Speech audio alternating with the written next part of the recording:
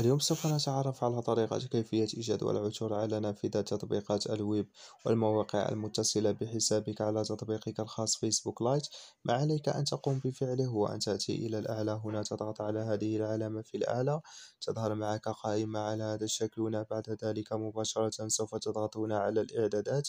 نأتي إلى نافذة الإعدادات في هذه النافذة الخاصة. هنا نضغط على التحقق من الخصوصية.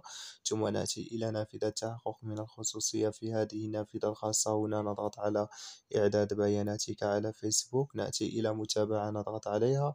ثم نأتي إلى هذه النافذة الخاصة هنا حيث سوف تجد يعني التطبيقات ومواقع الويب الموجودة هنا أو المرتبطة بحسابك على تطبيقك الخاص فيسبوك لايت وهنا نكون قد انتهينا من هذا الفيديو. نتمنى هنا أن تكونوا قد استفدتم منه.